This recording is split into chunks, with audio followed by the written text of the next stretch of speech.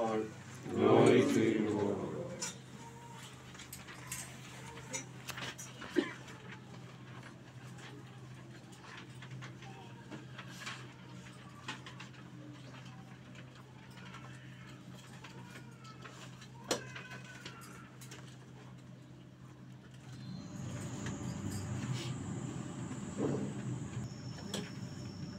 The Spirit drove Jesus out in the desert, and he remained in the desert for 40 days, tempted by Satan.